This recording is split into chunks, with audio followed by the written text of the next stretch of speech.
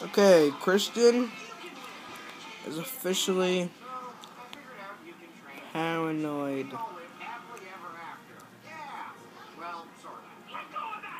Every girl commercial that comes on, he stares at me and yells at me. I don't know what's wrong with him.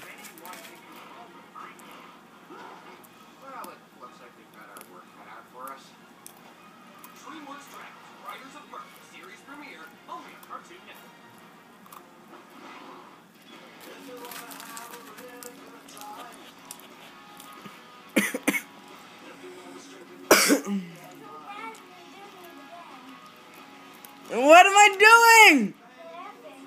I, I the commercials. Why? What are you talking about? I swear to God, I'm not doing anything.